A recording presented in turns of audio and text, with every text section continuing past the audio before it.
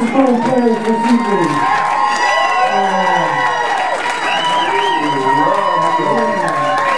God have mercy, mercy, mercy.